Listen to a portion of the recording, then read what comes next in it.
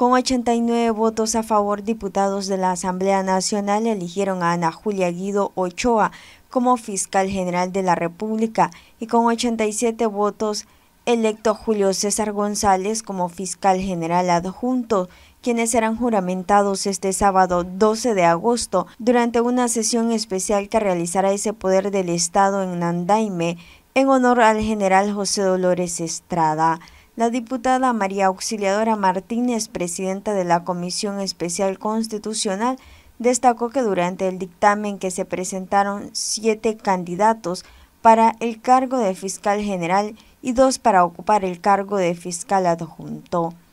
Conforme a la documentación recibida con cada una de las propuestas,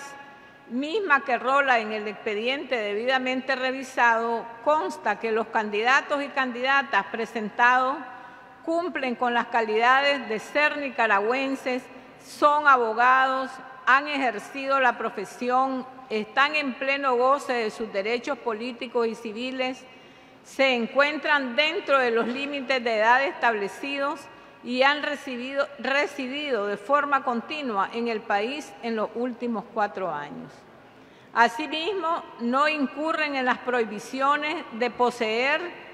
otra nacionalidad en los últimos cuatro años haber sido suspendidos en el ejercicio de la abogacía y ser militar en servicio activo. La comisión tendrá vigencia hasta el 15 de diciembre de 2023 en vista que en los próximos meses serán electos otros funcionarios de otras entidades cuyos periodos están por vencerse. Noticias 12 Darlene Telles.